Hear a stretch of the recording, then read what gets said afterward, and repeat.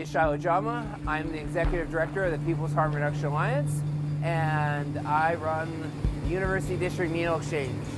We've been uh, on the we were on the Ave for eight years, and we've been here for about 22 years. And so next year will actually be our 30th year anniversary.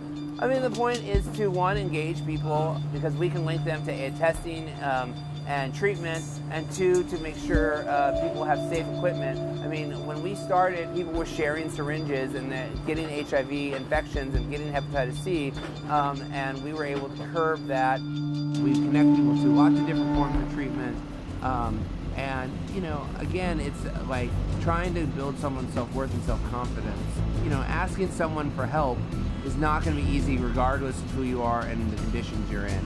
You know, there's a lot of people who have pride um, and really talking to people and engaging people and, and, letting them know that, you know, they are loved and that they can get access to treatment and they can come in and get, you know, this isn't going to be a uh, angry thing. There's not going to be hoops you have to go through because I really believe that treatment needs to be in direct competition to drug dealers.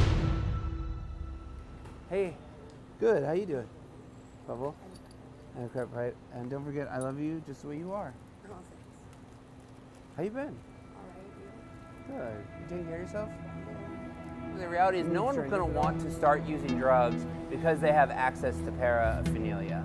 Um, they people who come here are people who've already used drugs, um, and they we're limiting their access to HIV and hepatitis C um, and other uh, infectious disease, along with uh, wound care um, and soft tissue infections.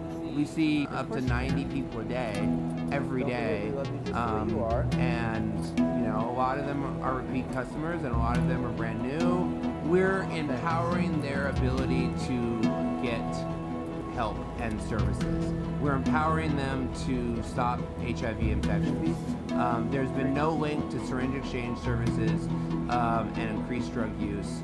Um, there's only been a link to reducing HIV and access to treatment. One of the number one places that people uh, ask for treatment is at a syringe exchange.